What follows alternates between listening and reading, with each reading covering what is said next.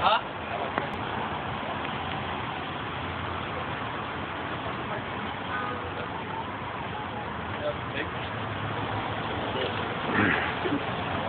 You mean a good detail, huh? Yeah, yeah. You need to detail it now, huh? Well, I'm gonna let it sit for Dude, about a week or so for paint to kind of dry out. Curious? Oh, I like the way that looks.